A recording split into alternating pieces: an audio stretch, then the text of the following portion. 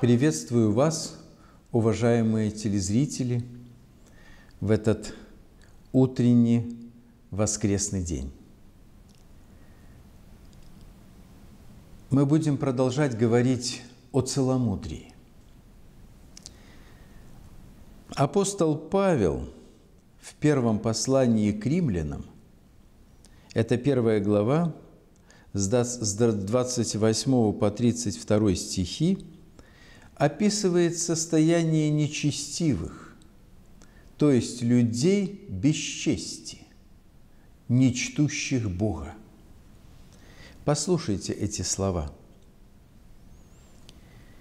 «И как они не заботились иметь Бога в разуме, то предал их Бог превратному уму делать непотребство, так что они исполнены всякой неправды, блуда, лукавства, корыстолюбия, злобы, исполнены зависти, убийства, распри, обмана, злонравия, злоречивы, клеветники, богоненавистники, обидчики, самохвалы, горды, изобретательны на зло, непослушны родителям, безрассудны, вероломны, нелюбовны, непримиримы, немилостивы.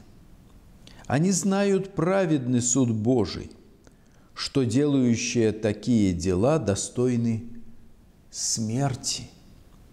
Однако не только их делают, но и делающих одобряют. Как видим, целомудрие и грех – это антагонисты. Грех – делитель целого, болезнь, поедающая душу и разлагающая тело.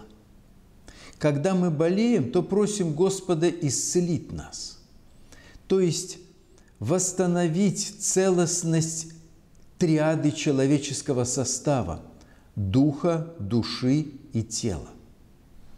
И Господь говорит нам, стань целомудренным и исцелишься, а я помогу тебе. Вот так и больное, разделившееся общество на своем сломе очень часто становится блуждающим в неопределенности и развращенным. Возьмите французскую революцию и ее символ – свобода на баррикадах. Этот образ совсем недавно почти один в один воплотили активистки свободной Белоруссию у, посольства, у, у нашего посольства в Париже. А 1917 год отменил нравственность а проституция стала уважаемой профессией в годы распада СССР. Скажу больше того, блуд может выступать даже оружием, и такими примерами изобилуют Ветхий Завет. Последний по времени пример из него – это пляски Соломеи. А пример массового поражения – это тактика моавитян – когда израильтяне, выведенные из Египта святым пророком Моисеем, были уже близки к земле обетованной, их соседи моавитяне исполнились страха. И через блудодейство, в котором они сами преуспевали, вовлекли израильтян в идолопоклонство в Алфигору. Многочисленные войска израильтян теперь терпели поражение от малочисленных моавитян, ибо, отвернувшись от Бога, они потеряли своего главнокомандующего. Значит, целомудрие – это не только защита личности человека, но и духовный щит нации. Еще Иоанн Златоуст говорил – если в народе есть целомудренные жены, то этот народ непобедим. построение человеческих отношений и тем более государственных – сложнейший процесс, требующий больших духовных сил от каждого отдельного гражданина, направленных на сохранение общности. И в основе государственности как формы общественного бытия человека лежит последовательное постулирование и защита ряда нравственных свойств в человеческой природе. Прежде всего, целомудрие. Испокон веков оно являлось основной основой матрицы мировоззрения наших предков, любивших Христа. Но до сих пор, делая свое тайное дело, уже другие моавитяне, подводя теперь и наш народ под гнев Божий да не коснется он нас. Почему так говорю? Посмотрите, почти 30 лет наша молодежь питается идеями свобод, которые так вольно позволяет себе трактовать либерализм. В отличие от ценностей наших предков, строивших цивилизацию духа – либерализм формирует цивилизацию ненасытного желудка и блуда. Либерализм – это вовсе не учение об экономических свободах и сопряженных с ними политических правах.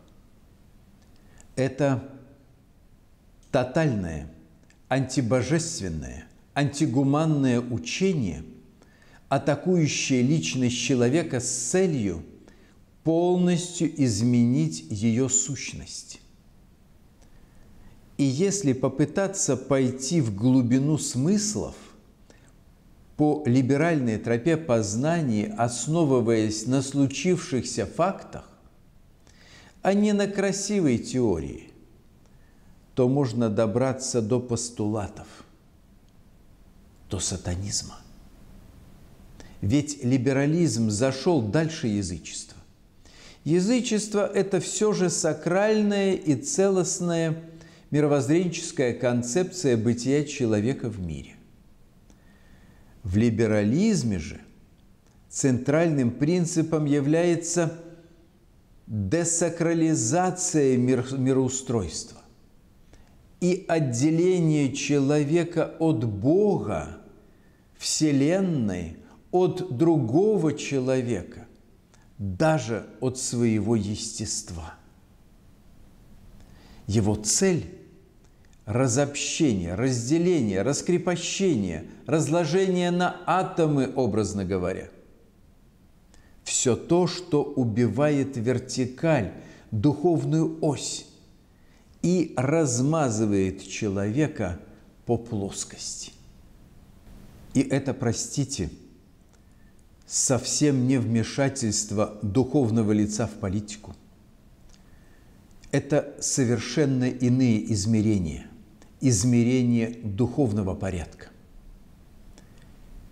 Ведь сейчас, когда наше общество надломилось, у нас осталось только одно право – право на борьбу за целомудрие во всех его смыслах эту борьбу мы должны начинать в себе, с себя, слагая и умножая добродетели и добрые дела, которые в свою очередь вовлекут и остальных. И поскольку, как говорит апостол Павел в своем втором послании к Тимофею, в первой главе стихой 7 стих, дал нам Бог духа не боязни, но силы и любви и целомудрия, мы обязаны создавать своей жизнью результат, прекраснейшее произведение единства непобедимого народного духа. Вот только тогда наша молодая сплоченная нация вновь предстанет в образе красавицы с ясным взором и нежным кротким сердцем, чтобы иметь право называться Белой Русью. Белой значит душевно чистой и целомудренной, изменить которой будет просто невозможно.